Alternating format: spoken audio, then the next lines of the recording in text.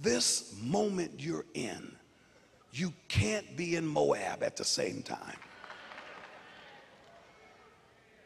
Where you want to go and what you've been hoping for ain't going to happen operating the way you used to operate. You're going to have to get a little bit uncomfortable.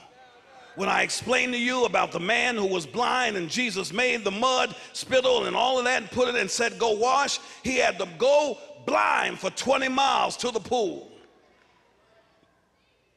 But he believed what God said.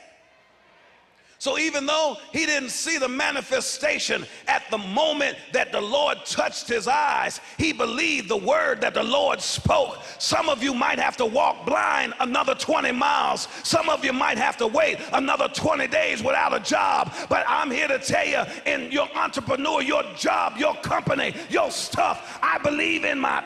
Sometimes, old folk, you say you got to know that you know that you know that you know that you saved. You need to know that you know, know about a bunch of other stuff. I need to know that I know I'm God's child. I need to know there's a promise over me. I need to know that I can't be junk. I need to know that I know God has made me bigger than what I've been operating in. I know that I know that I know that this is a correlation and a combination of stuff that happened that now God is bringing to fullness now.